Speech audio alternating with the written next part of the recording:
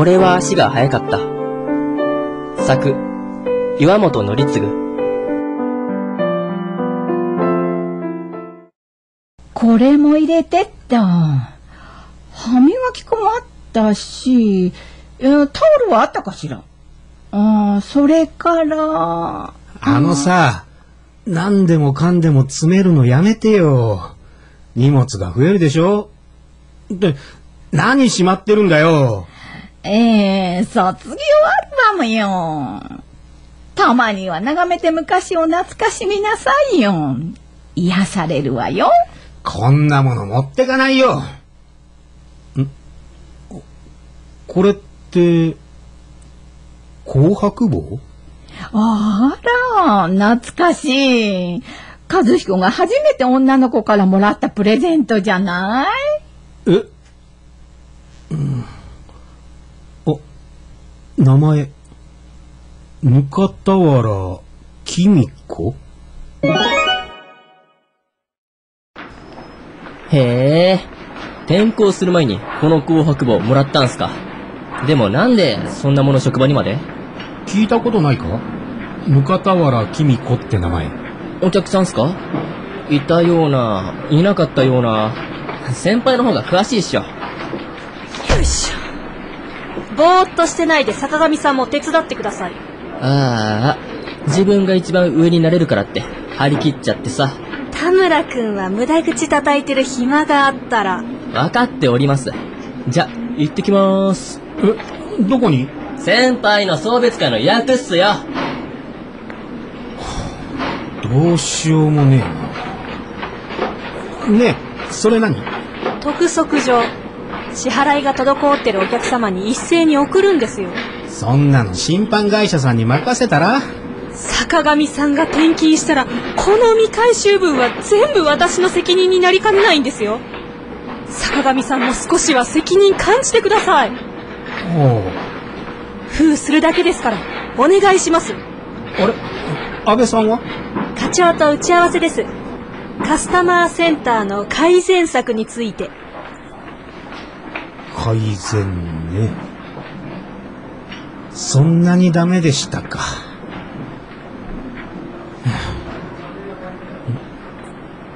いた。そうか。やっぱりうちの顧客だったんだ。ぬかたわら。同姓同名。ないよな。何これ？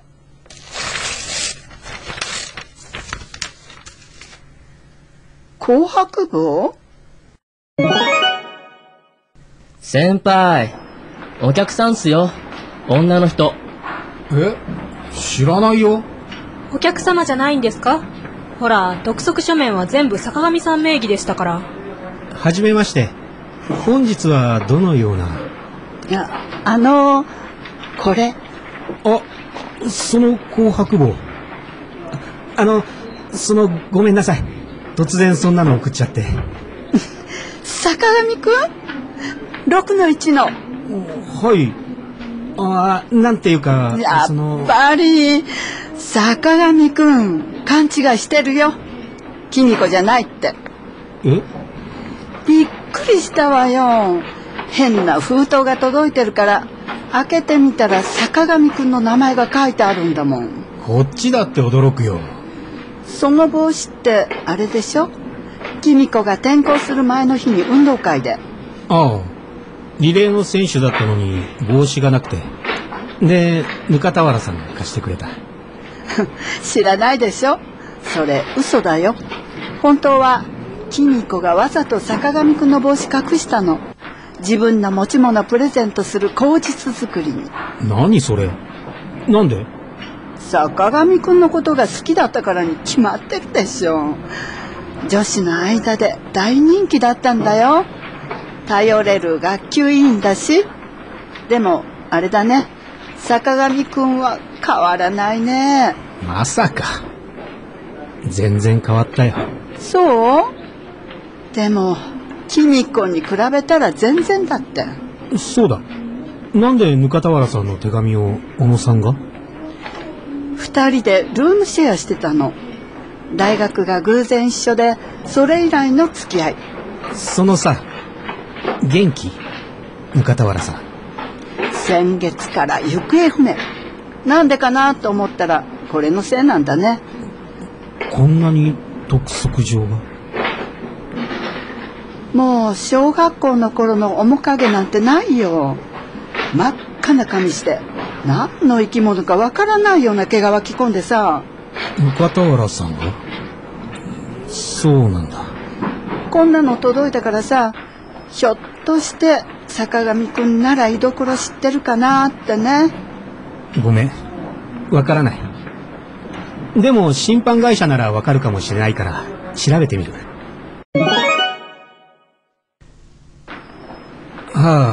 そうですか。もし連絡つくようでしたら、カスタマー、あ、いや、仙台支局の坂上宛てまでご連絡いただいてもいいですか。はい。よろしくお願いいたします。ほら、いつまで仕事してるんすか？主役が来ないと送別会にならないっしょ。さあ、今夜は壊れましょうね。本当に壊れることないのに。あ、そうだ。何それ？紅白部？そんなのかぶせて何やってんのよ？もう当分会えなくなりますから、先輩で遊ばないと。あ、口に抜かしてください。え売るの？確かいらないのがこれはいありがとうございます。おっと、ここをこうして、こうして、ひげの加工お、いいっすね。こうして、こうして。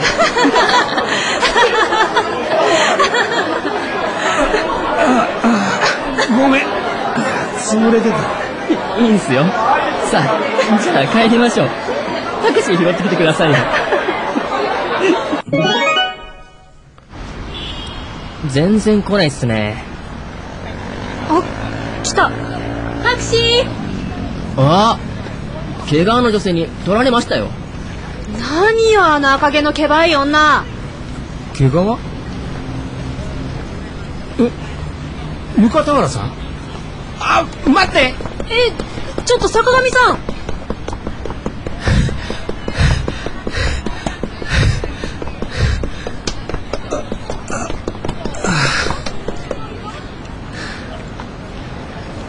一体、どうしたんすか？急に。ちょっと。待って。はあ坂上さんって意外に足早いんですねタクシーに一体ついていくなんて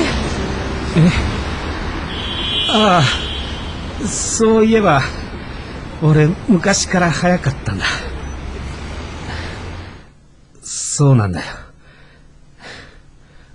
俺は足が早かったんだよ。